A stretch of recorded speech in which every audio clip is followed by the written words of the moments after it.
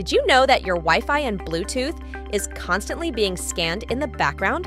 No worries. Let's tighten your security and save your battery life by turning it off.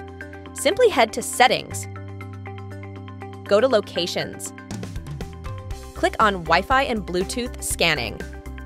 Turn them off, bam! Battery life on the rise, privacy on lock. Want to learn more crazy hacks? Follow Cellular Port today.